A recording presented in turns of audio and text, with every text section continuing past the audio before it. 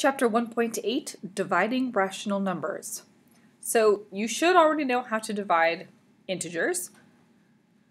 6 divided by 3 divided by 3 equals 2. Okay? Um, don't forget your rules about signs. Okay?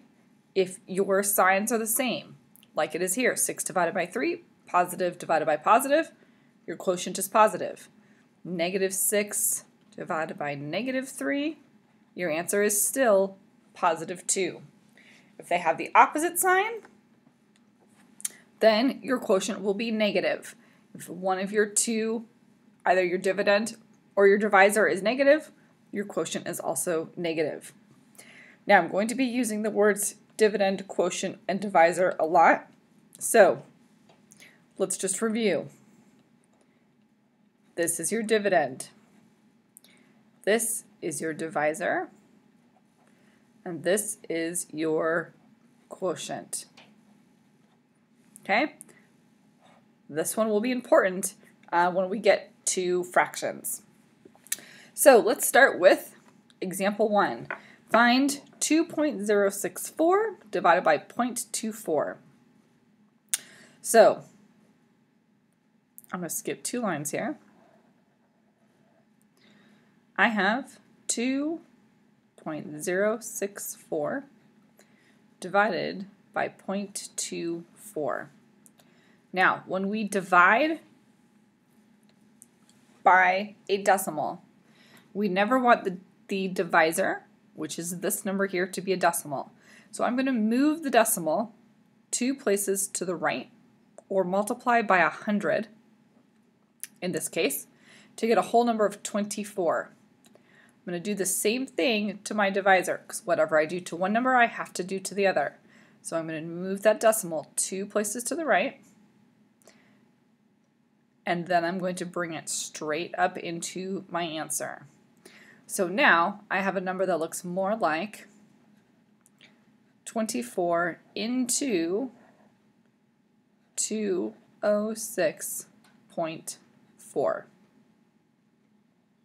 Now, you don't have to rewrite the problem.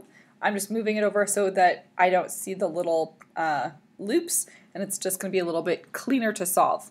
You can certainly uh, continue just from your original problem. So 24 does not go into 2, does not go into 20. So how many times does it go into 6 or 206? It goes in 8 times. 8 times 4 is 32. 8 times 2 is 16, 17, 18, 19. Go to subtract. 4, 20 minus 19 is 1. I'm going to bring down the 4. And 24 goes into 144 six times. And 6 times 24 is 144. So my final quotient, because this is 0, I don't need to add a 0, bring anything down. I have no remainder. So my final answer is 8.6. Okay, so let's talk about fractions here for a minute. Um, let's come up here so I have a little more room. So negative 5 sixths divided by negative 2 thirds. So when you divide fractions, you are actually going to multiply mul by the reciprocal. Okay, going to multiply by the reciprocal. What is that? That's when you take the numerator, in this case negative 2 thirds, and the denominator, and you're going to turn them over. So instead, I get negative 3 halves. The denominator becomes the numerator, the numerator becomes the denominator, and these are called reciprocals. I only take the reciprocal of the divisor, which is the second number in my problem. This one only. So, negative 5 sixths times negative 3 halves.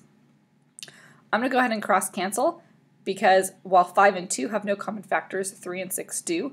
So I'm going to go ahead and divide by 3, which gives me a 1 and a 2. Multiply straight across. Negative 5 times negative 1, well, that's a positive.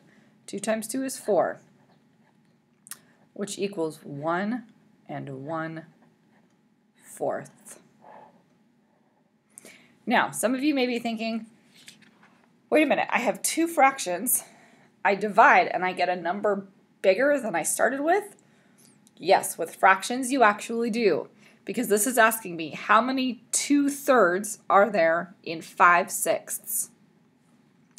There is one two-thirds and a fourth of another two-thirds. Um, if you want to see that in a bar model, let me know. That'll make a little bit more sense. But from now, we're going to go on to example number two. So how many one and a half ounce servings of cereal are in the larger cereal box at the right? So I see that that cereal box is 19 and a half ounces. So I'm going to take that full 19 and a half ounces and I'm going to divide it into servings of one and a half to find out how many servings there are. So my first step is to turn these into improper fractions. So 19 times 2 is 38, plus 1 is so 39 halves, divided by uh, 2 3 halves. But I'm dividing fractions, so I'm going to multiply by the reciprocal of my divisor. So 39 halves, and here's where we change, times 2 thirds. These switch into the reciprocal. Now, I can cross cancel. 2 divided by 2 is 1. 3 does go into 13. It goes into 13, or goes into 39 13 times. 13 times 1 is 13. 1 times 1 is 1. So there are 13 servings in that box.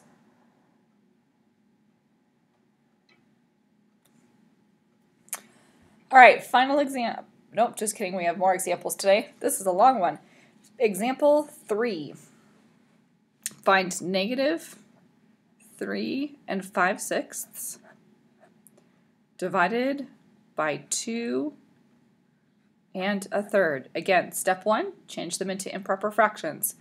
6 times 3 is 18. 18 plus 5 is 23. So negative 23 sixths divided by 3 times 2 is 6 plus 1 is 7. 7 thirds. Now, be careful. Do not drop your sign. Since this is negative, your next, uh, your improper fraction should also be negative. A common mistake is to ignore the negative sign. Please make sure you don't do that, okay? All right, negative 23 sixths will actually be multiplied times the reciprocal, so times 3 sevenths. Well, 23 and 7 have no common factors, but 6 and 3 do. Divide both of those by 3 and we come up with negative 23 times 1, which is negative 23, over 2 times 7, which is 14. Uh, 14 goes into 23 twice, which is 20. Oh, no, it does not. I'm thinking 7. Let's actually just come do the math. That will save us a lot of work. So 23 divided by 14 that actually only goes in once. Because 13 minus 4 is 9. So we have negative 1 and 9 fourteenths. It's still negative because I have one negative and one positive in my problem. And a negative divided by a positive is still a negative. All right, now example 4. Denise takes her father's old bicycle to a shop to be restored. The shop owner charges Denise $205.20 for the work on the bicycle. The owner wants Denise to pay the bill in full in four and a half months. So what amount does Denise need to pay each month to settle the bill? And what will her payments be? So we have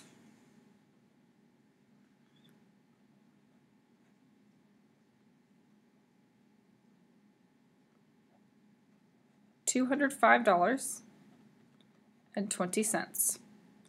Now, this is a debt. So this money is negative. It's amount that Denise owes and a debt is always negative. Money that you have to pay is always negative. And that is going to be paid in four and a half months. So I'm for ease of writing, I'm going to drop the dollar sign for right now, knowing that I have to bring that dollar sign back in in my answer. So negative 205.20 divided by 8 9 halves. So I'm going to turn this into a fraction also.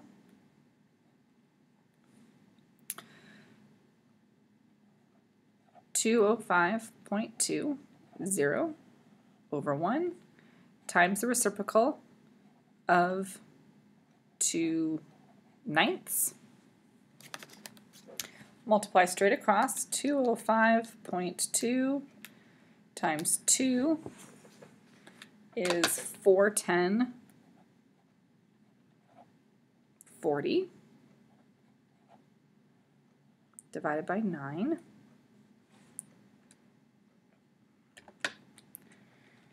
equals 45 60. Now, I actually made a mistake. I dropped this negative sign. So I need to come back. It's a negative 205 times positive 2. It's negative. It is negative $45.60 per month. The other way to do that would be to change negative 205.2 divided by 4.5. Okay, turn the 4.5 into a frac into a decimal instead.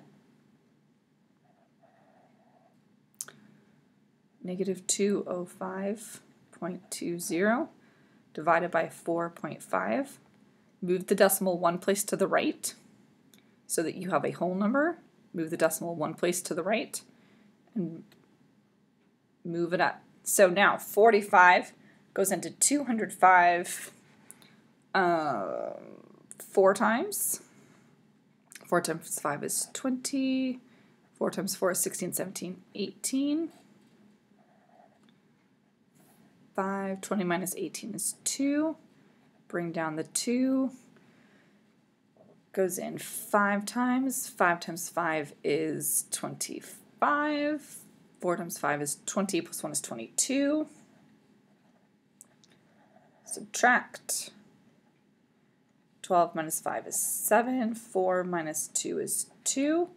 Bring down the 0.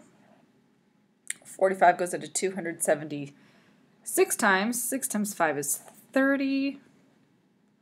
4 times 6 is 24, 25, 26, 27. Okay, now it's money and it's negative, so it has to have 2. So there is your monthly payment. All right? So she will make four months of $45.60. However, she has that half payment. So I need to take this $45.60 and divide it by 2, divide it in half to get that half payment. So $45.60 divided by 2 is a half month of $22.80. So her full payments will be $45.60, but that last little half payment will be only $22.80. And eighty cents. All right, that's it for examples today. There are a lot, so compl please complete your quick checks and CYUs and see me if you have any questions.